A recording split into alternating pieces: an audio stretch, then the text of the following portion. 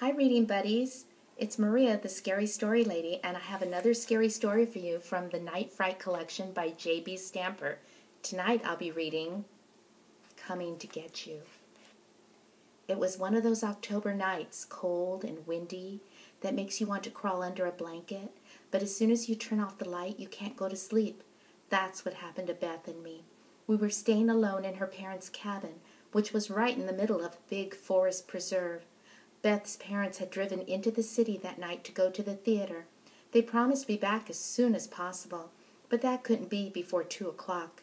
I was worried about the idea of Beth and me being all alone in that small cabin, surrounded by big shadowy trees, but Beth acted as though she wasn't scared at all. Just before her parents left, they threw a few more logs onto the fire and put up the screen. They told us to leave the fire alone and let it burn out. If we got chilly, we could just go to bed. After they left, Beth and I sat on the big bearskin rug in front of the fireplace and played board games and talked. The fire burned fast and hot for the first two hours. Then the logs started to crumble into ashes, and the orange flames died down into glowing embers. The wind outside had grown stronger and was whistling around the house, blowing through little cracks in the walls and chilling us to the bone. I started to shiver although I don't think it was just from the cold. Suddenly, the idea where we were, all alone, had started to prey on my mind. I remembered how far down the road into the forest we had traveled without seeing another house, and even during the day the trees around the house hadn't looked beautiful and comforting. They were big pines with long, ragged limbs covered with needles. Looking out the window now, I could see their limbs flapping in the wind like ghostly arms. Beth, can we go to bed now? I asked. I knew my voice was shaking, but I hoped she wouldn't notice. It's not that cold, she answered. Anyway, I can make us some hot chocolate. Okay, but can we just take it up into the loft and drink it in bed? I pleaded. I like being up there at night. It feels warm and secure. I think you're scared, Beth said, as she went to the kitchen to make the hot chocolate. Don't worry, you'll get used to being in this place at night. I used to be really afraid when I was younger especially after that kid from town told me those stupid stories about this place.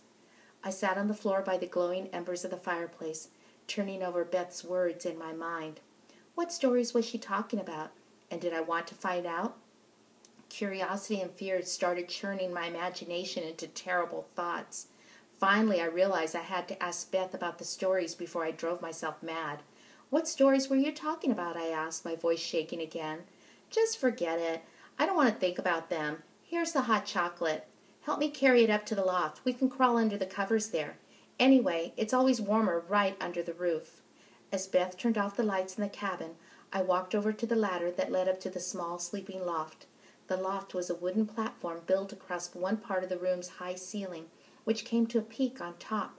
I scrambled up the ladder first, suddenly feeling as though I had to get away from something that might be chasing me. I reached down and took the two cups of hot chocolate from Beth's hands. Then she followed me up the ladder. We settled into the thick goose down comforter on the loft floor. There was a small window beside us that looked out into the tall trees of the forest.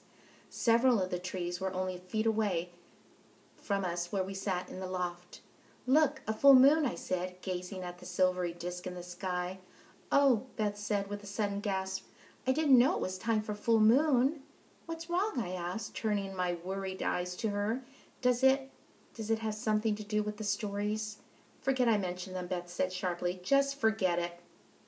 I turned away, feeling angry, and stared out the window. We sat in silence for a while, both not wanting to be the first to talk.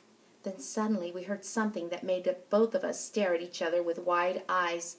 It was a clawing sound on the outside timbers of the house. Scritch, Scritch, scritch. For a few moments I was too scared to say anything. I just sat there waiting for the sound to come again. But I heard nothing, nothing but the moaning of the wind through the trees. Did you hear that? I asked Beth. What was it? Beth just scrunched down further under the comforter. By the moonlight I could see her face. It looked scared. The sound came again. Scritch, scritch, scritch. This time it was on another side of the house, by the front door. Beth, did your parents lock the front door? I asked, my voice choking with fear. Yes, she said. and I double checked it. I could tell how scared she was. Her voice sounded tight and strange, as though she was feeling really sick. Oh no, she said suddenly and grabbed my arm. The kitchen window. I remember seeing that it was open a couple of inches. My dad forgot to close it after he burned the steak tonight. Oh no, what if that thing keeps moving around the house? It could get in through the window. I started to feel even sicker. We've got to go down and close that window, I said, reaching over and shaking Beth. Come on, you've got to come with me.